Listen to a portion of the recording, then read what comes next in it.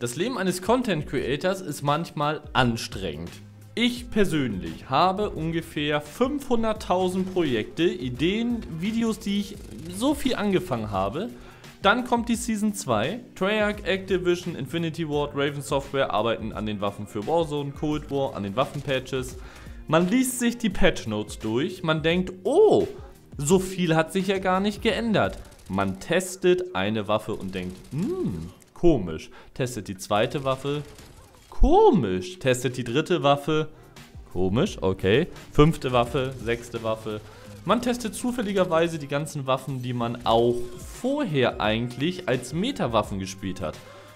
Und heute werdet ihr erfahren, warum der gesamte Haufen von Entwicklern, Designern, Technikern, Spieleberatern bei Treyarch und Activision und Infinity Ward absolute Hurensöhne sind und absolute Wichser. Ich hab solche Behinderten. Das ist unglaublich.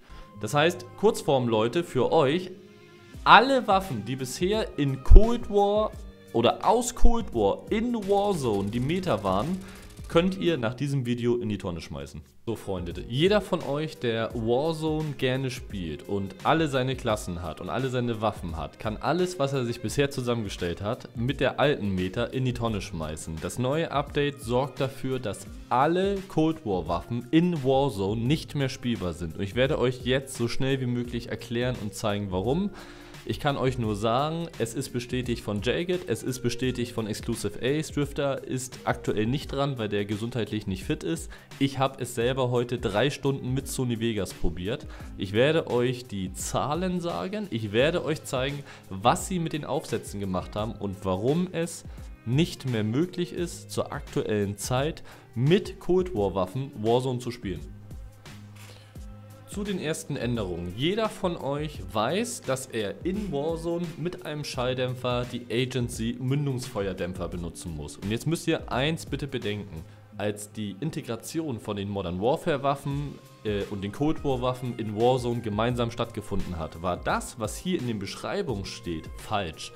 Das heißt, da stand dann Geräuschdämpfung plus Rückstoßkontrolle, also weniger. Dafür eben effektive Schadensreichweite wird weniger, Kugelgeschwindigkeit wird weniger. Die Leute haben den Agency Suppressor zum Beispiel trotzdem genommen, weil der Aufsatz das Gegenteil gemacht hat, weil sie es im Prinzip falsch programmiert haben. Dann haben sie angefangen, die Sachen, wie sie hier stehen, so stehen zu lassen und haben andere Sachen programmiert dann hat man plötzlich das Gegenteil gehabt. Jetzt tun die Cold War Aufsätze sowie die Agency Mündungsfeuerdämpfer von der FFAR 39% weniger Bullet Velocity. Das bedeutet, eure Kugeln fliegen 39% langsamer und dementsprechend auch nicht so weit wie vorher. 40% weniger macht aus der FFAR eine Waffe, die nicht mehr zu irgendwas zu gebrauchen ist.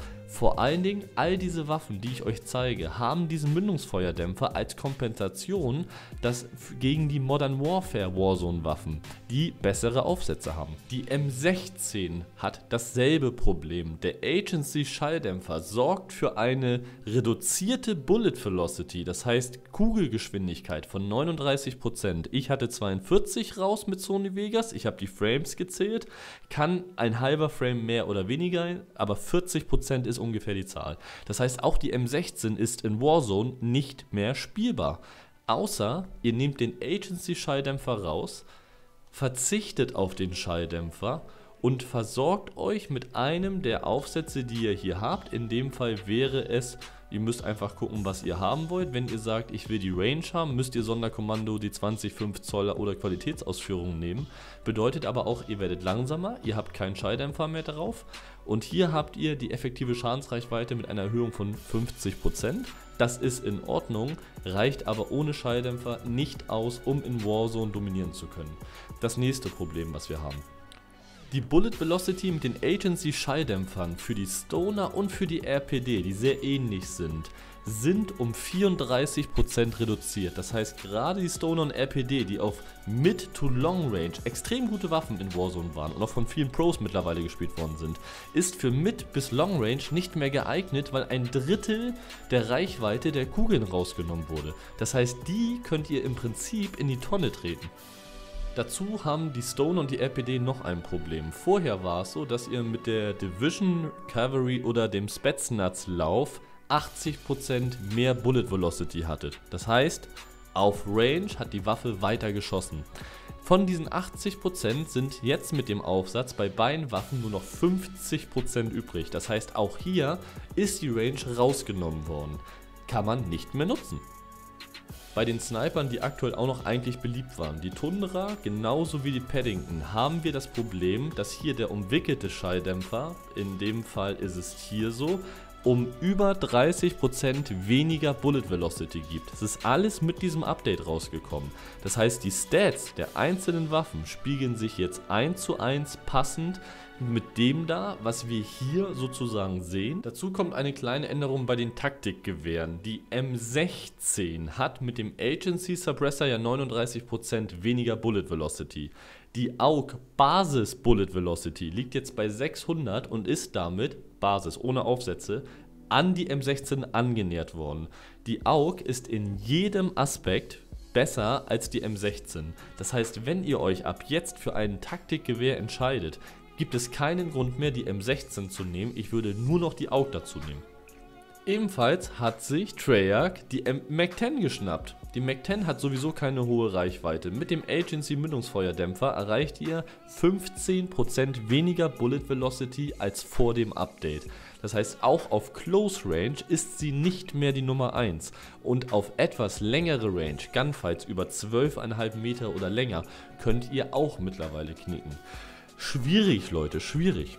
Das heißt, wenn wir uns alle Waffen angucken und vor allen Dingen das Problem, dass die Agency-Schalldämpfer einfach nicht mehr das tun, was wir brauchen, sondern jetzt tatsächlich mal tun, was auch beschrieben steht, und man aber mit den Modern Warfare Waffen vergleicht, gibt es keinen Grund mehr, eine dieser Waffen, FFAR, MAC-10, Paddington, Stoner, RPD, all die Game oder all die Waffen, die jetzt auch relativ lange Meter waren. Es gibt keinen Grund mehr dafür, dass ihr darauf zurückgreift, weil sie statistisch deutlich schlechter sind und gerade was Bullet Velocity angeht, was Reichweite angeht, ist ja in Cold War bzw. im Warzone ja das A und O. Die meisten Gunfights sind auf ein bisschen mehr Range. Die wenigsten Gunfights sind auf 1, 2, Point Black, direkt beim Gegner. Häuserkampf ist seltener, es ist eher auf offenes Feld, gerade auch noch am Ende.